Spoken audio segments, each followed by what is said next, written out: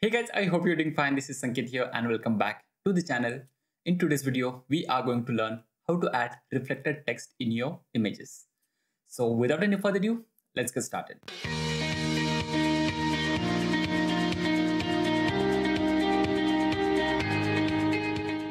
Now to add reflected text in your images, you need free app called Snapseed. You can download this app from Play Store or App Store. So I've already downloaded it. So let's open the app. When you open the app, you can see there is a plus icon. You can click on that and import your image. Now, I've imported this image. Before adding the text, we'll do some standard adjustment. So for that, go to the tools, then tune image. Now here, we'll add some contrast, then some saturation, I think, yeah.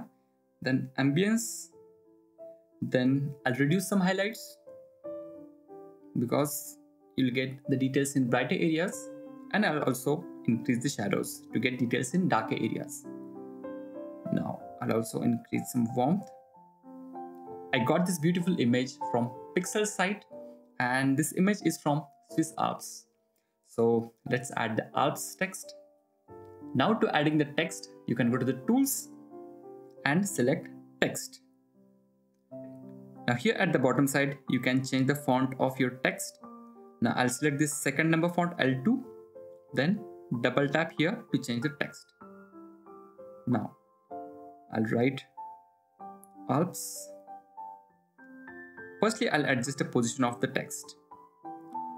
I think it looks fine here. Okay. Now I'll save this.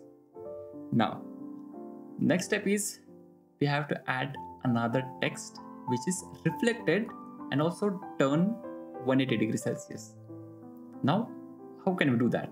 We can just save one reflected text with black background. We will save this and we will import this text in this image again. I'll show you this.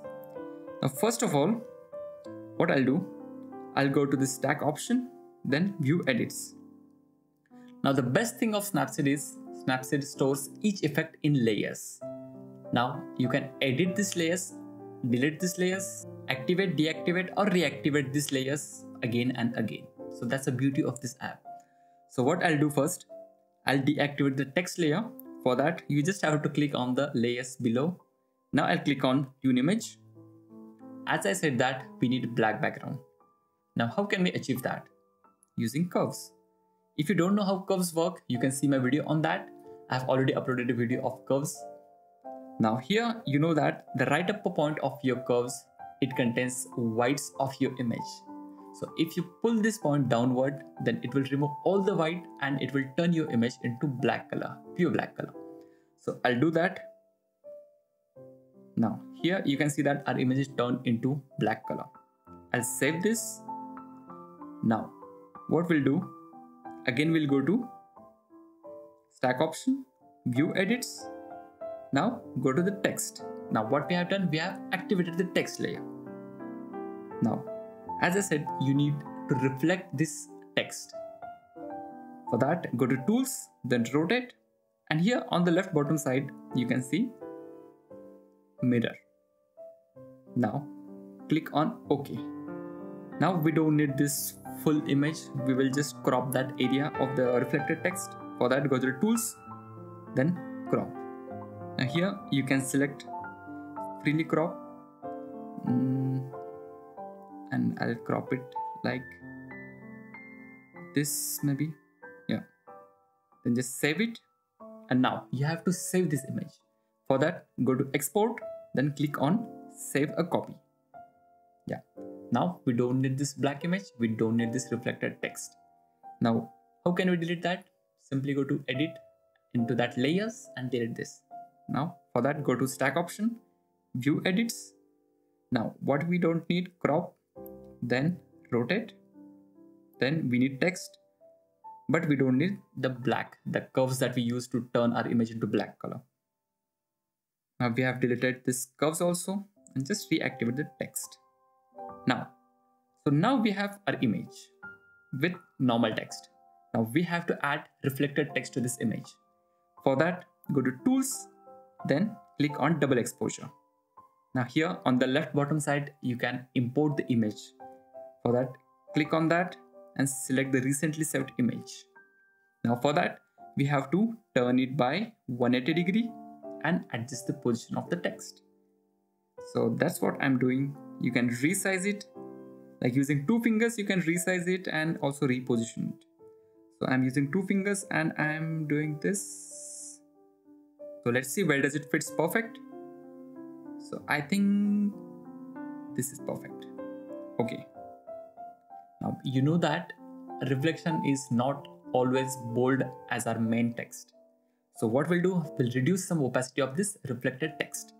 For that, again go to the stack option, view edits, then select this double exposure, the effect that we applied, and again go to the setting of this effect. Now here on the right bottom side, you can reduce the opacity